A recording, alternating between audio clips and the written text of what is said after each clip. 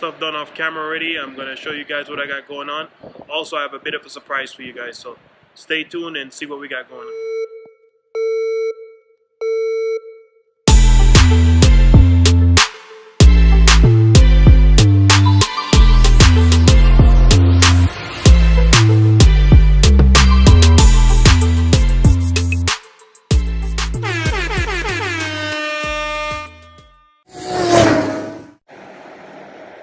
Okay, guys, so quick little story here. Um, my whole time owning this car, I didn't realize that this the whole time this car was um, automatic.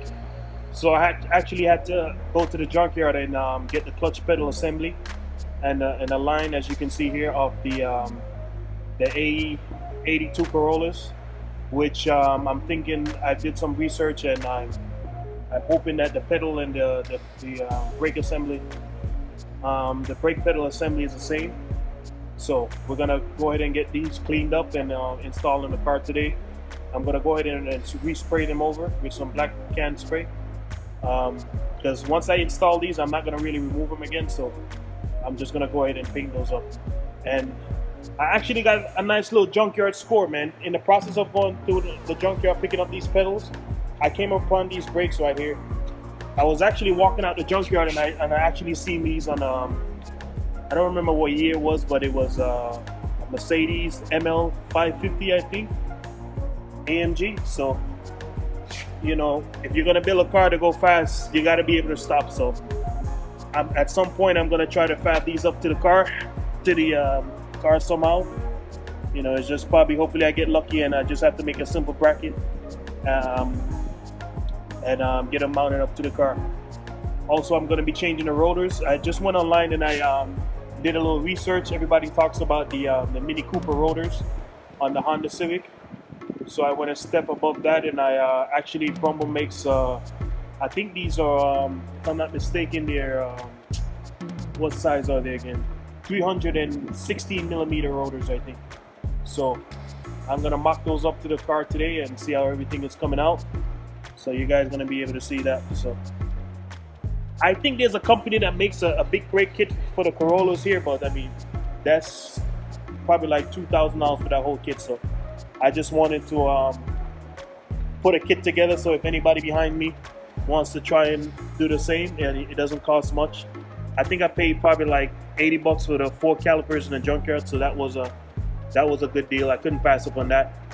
So, and the rotors only cost me like a hundred and something dollars. So I'll later on put the part number of the uh, the rotors and everything that I'm using for anybody that probably wants to do this kit. Um, I think this rotors will fit on the the newer Corollas also. So, all right. So let me get going here, cleaning these brackets up. I mean these um, yeah, clutch assembly up, and then we'll we'll get to all this today. Also, I bought the wheels that I'm going to be showing that I'm going to be using on the car so I can test fit everything with the, the rotor clearance and the uh, all that stuff to see if I can even get close to where I need to go. And uh, we'll get that done today too also. So that's to be the surprise. I, I haven't revealed what kind of wheels I'm to be running on this car today. But at the end of this video, you guys will see what wheels I'm to be running. They're right, sitting right there in that box. So. All right, let's get to it.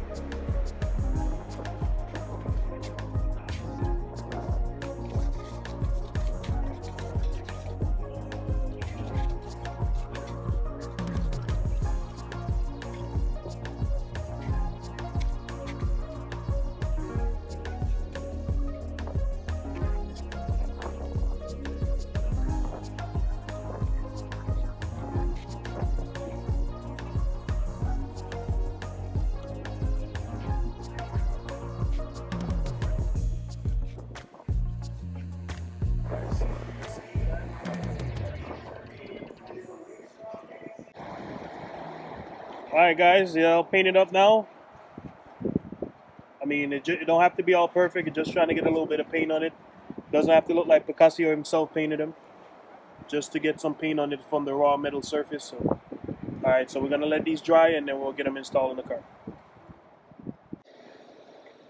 Quick little update on the throttle body situation here. I know in um, previous videos I mentioned I was gonna run a spacer on it. I went ahead and I scrapped that idea Also, I know you guys can realize that I went ahead and took the condenser back out because we're having a little clearance clearance issue right here with the uh, the throttle position sensor. So we're not gonna run that anymore. So I'm just basically gonna bolt the throttle body straight to the um, to the intake manifold like that. And then now what I'm gonna do, I went ahead and purchased these um, beautiful, nice, vibrant clamps. So this is what we're gonna do here. We're gonna just go ahead and put this on right here. And we're gonna just make a nice little elbow down into the fender right here. Like I said, I'm gonna take out that washing fluid and and um, just pour maybe a three inch hole right here down to the intercooler. And this is how we're gonna rock this. So this is how this is gonna pan out. As far as the, the, the, blow off valve, the blow off valve most likely is gonna have to sit probably up under the fender, probably like right around here, down here somewhere. So you're not gonna be able to see the block valve. And then on the exhaust side now, I got the uh, another vibrant clamp to go on the exhaust side. So keep in mind, this is not the turbocharger I'm gonna use. This is just a mock-up one. So I guess I'm gonna do a nice little, I guess when it comes off the um, the turbocharger, I'm gonna go ahead and do a nice little elbow and this other clamp is gonna sit right here so I can easily disconnect it here if I need to. And it's gonna run and go down to the, uh, the intercooler. So that's just an, an update on that. All right, so um, pretty much the only thing else we have to do now is uh, run fuel lines and I'm gonna probably get into that on, on the upcoming videos. But for now, the only other thing I can do today, I can't do any type of welding today because I ran out of gas and I have to go get gas and it's on, and I'm filming on a Sunday, so none of those places are open. So if I'm gonna do anything today, it's just gonna be mock-up and stuff like that. So what I can do is put on the um, try mock up the front brakes and see how that's gonna come out. So let's get into that and um, see how that's gonna come out. So master cylinder is installed now. I went ahead and, and mounted the uh, master cylinder. This is just a mock-up master cylinder that I got from the junkyard. It seems like I'm mocking up everything, but you know, sometimes you have to do this to get things right before you actually start putting in the um, the parts that you're gonna use. So I'm not gonna use that one. I'm gonna buy a brand new one, but it's in the line. What um, I'm gonna just run the line. Probably the factory line from the Toyota runs all the way around to the firewall, but I'm probably gonna change up the routing. I'm just gonna probably come off the master cylinder and then run down to the body light right here. Probably loop under the mountain and come across to the tranny to the slave cylinder. So that's how I'm gonna run that. So let me show you the inside.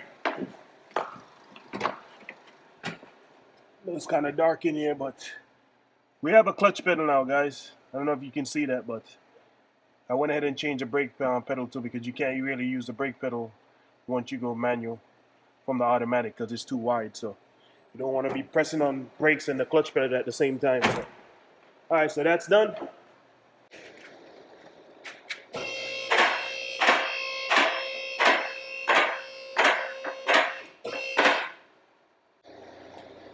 Okay, so let's get started here.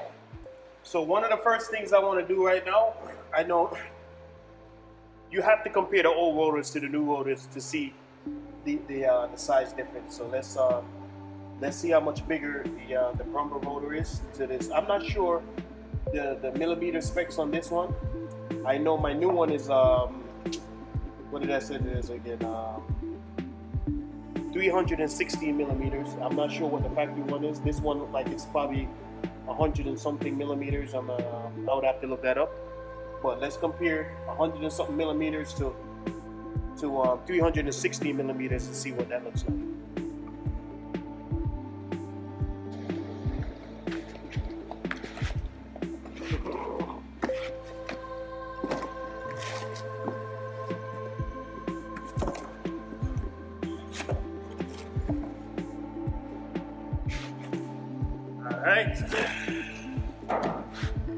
So, here we go.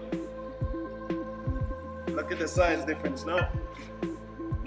So as you can see, this one is a lot bigger than the factory one. Try to put them up against each other now and see how good you guys can see that. Look at that. So you can see it's a big, big difference. Way more um, braking surface to stop. Like I said, I'm gonna probably start off with um, about 500 horsepower in this car and then later on I'm gonna try to go for more. So need all the stopping power you can get guys. Brakes are very important. Doesn't make sense to go fast if you can't stop. All right. So let, let's get this on the car.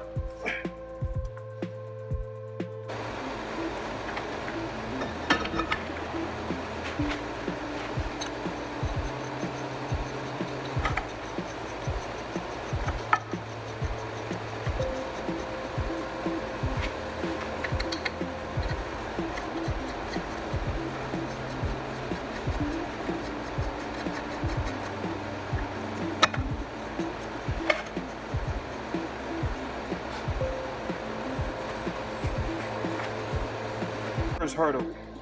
Now, when I originally looked up these rotors, I just went ahead and just bought them based on size and um, and uh, wheel lock pattern. So I didn't expect them to bolt directly up with no issues. I know I would have to modify something or even make something to make it work properly. So my first thing, I'm gonna have to get um, a hub centering, uh, some type of centering thing to center the rotor some, because the um, the rotor is not sitting this bore is different than the factory bore from the, um, the Toyota. So we're gonna have to get some type of, um, I'm gonna have to get some adapter made or something to go between there.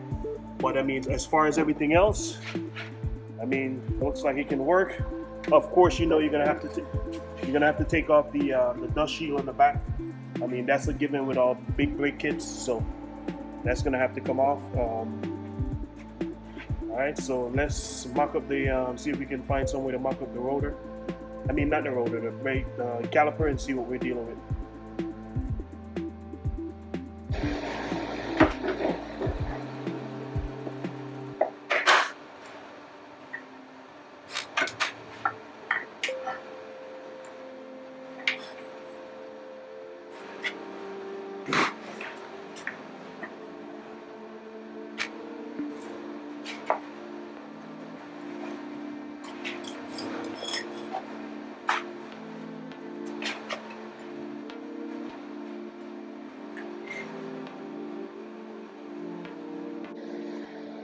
Okay guys, so this is where we're at so far.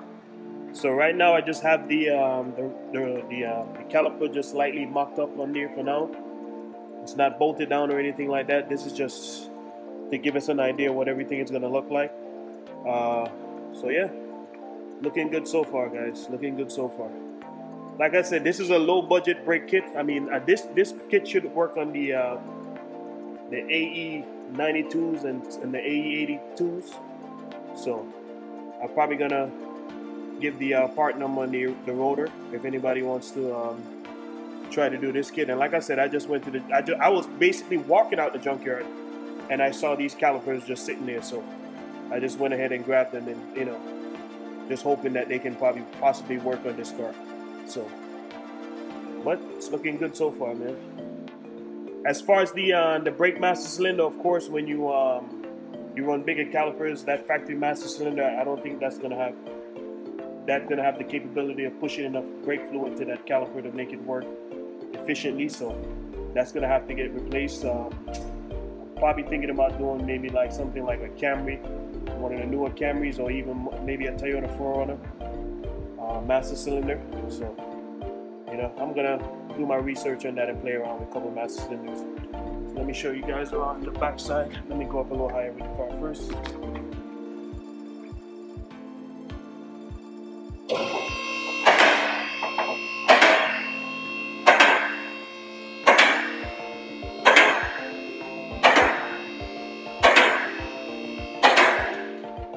Now this is a point where I wish I had some fancy CNC machine to um, to just fab up a quick bracket and get this thing working the way it's gonna work so. But unfortunately I don't have that luxury so I'm gonna have to get back here and um, see what I can do as far as a bracket. But you know just to show you guys how close it is so far. And that one is almost on that bracket. And I mean the, the, the caliper is not centered anyways. The calipers probably can go up a little higher. I just basically have it mocked up just for just to see what we're dealing with. But yeah shouldn't be it shouldn't be that difficult to make a bracket for it. I already have an idea how I'm gonna do it anyways. So alright guys, so this is what it's looking like. So I guess the last piece is I already bought wheels for this car maybe like almost a year or two now so um, doesn't really make sense to put a big brake kit if your wheels that you're gonna run on the car can't fit so that's the last step of this whole process let me go ahead and um, I didn't want to reveal the wheel I was gonna put on here now but in this case I'm just gonna go ahead and just do a quick little test fit to make sure the rotor and the uh, caliper is clearing the wheel. So you guys get a, a little bonus today as you can see to uh, see what wheels I'm gonna run on this so. All right so let's get the wheel on and see what she's looking like.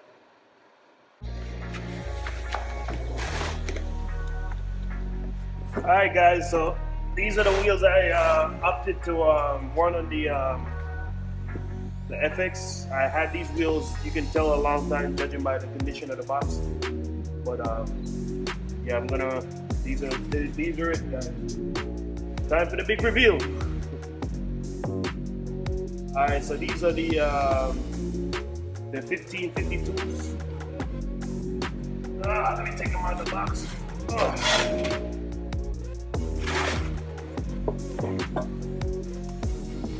So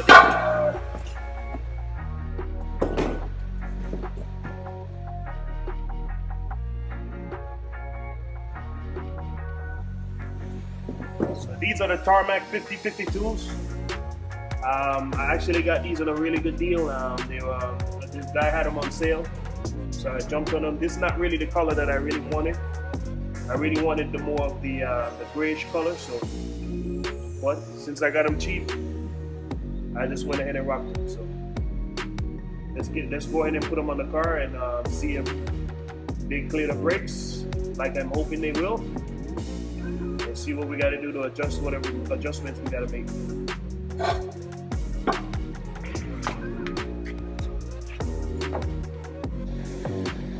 Yeah, I don't know, man. That caliper kind of sticks out kind of far. I mean, you can see from the um, Jesus, this thing sticks out kind of far, man. I don't know, man. What do you guys think, man? You think this wheel is gonna fit on here with um, without any type of uh, rubbing or anything? Only one way to find out. Let's get on and see if I got luckier again. All right.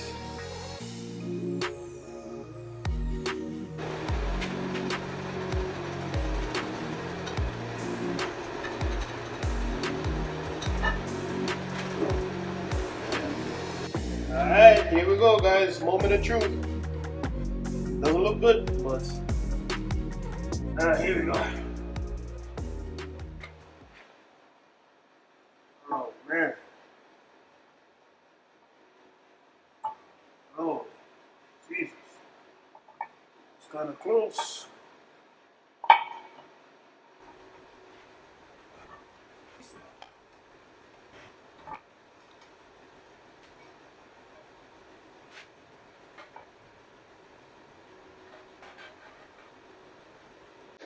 All right, guys, so there you have it.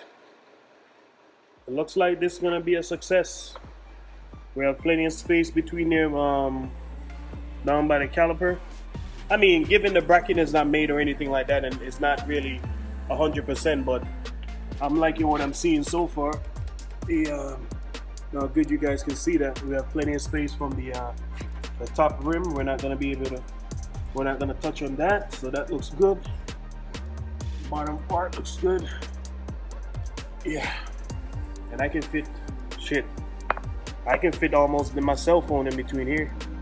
So this is good, so. We're looking good, guys. There she goes. Now, of course, I can't make the bracket today because I don't, like I said, I have to get, uh, I have to get gas for the welder. So we're gonna have to pick up on that another day. As far as the uh, the wheel specs, I, I, didn't I don't know if I mentioned it, but these are uh, 17 by uh, 8. I'm not sure of the offset. I mean, that's for um, anybody that needed to know. I mean, And we should be good with the. Um, they don't have too much stick out. I want the I want the wheels to sit really, real flush with the fender. So, okay. As far as the the back now, I have the back calipers here for for the, the Mercedes also. I have here, I don't know. I haven't really done any research and figure out what rotors I want to run in as far as the uh, the back. So I'm gonna leave that for another day.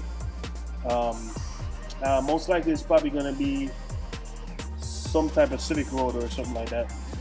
Because this car, I can't run a. I was thinking about an AE86 or even an S13 rotor, but I can't run that rotor because I think the lug pattern for that is 4x114, and I have to run a 4x100, so that's not gonna work. So. But once I figure it out, you know, i will bring it to you guys.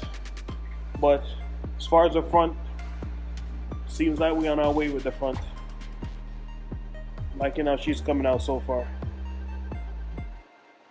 All right, so that's that for that, guys. All right, guys. So this is the end of the update video on the FX. Uh, so we got the uh, the brakes sorted out. We got uh, we got the clutch installed and the shifter box and everything. So I guess the next thing I'm going to move on to is um, getting the um, the fuel lines done. I still have to drop the gas tank on there to make sure that the gas tank is in good condition. Ever since I bought this car, I never even dropped it to see if the gas tank is all rusted out. So that's upcoming on the next episode. So keep on supporting the channel, guys. All right, make sure you like and subscribe. And tell a friend to tell a friend.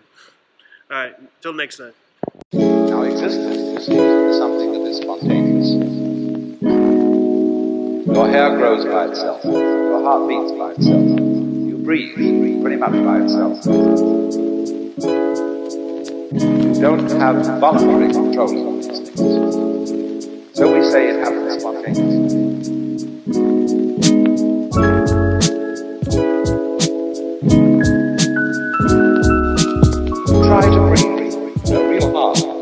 You get balled up. Gotta let go.